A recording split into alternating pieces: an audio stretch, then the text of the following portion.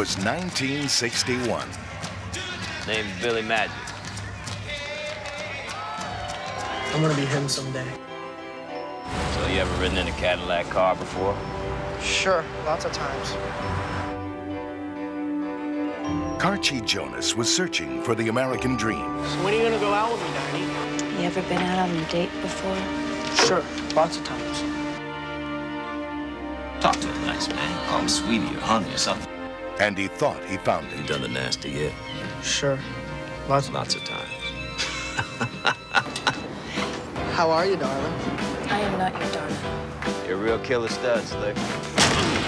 Until his dreams were shattered. Make sure you give it to Billy. What is it?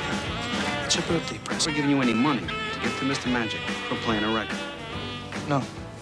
You lied good, kid. And nothing but the truth remained. Why do you gotta show off so much? Mr. Jonas, you took an oath here to tell the truth.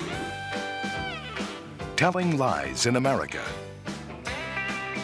Stars Kevin Bacon, Brad Renfro, and Calista Flockhart.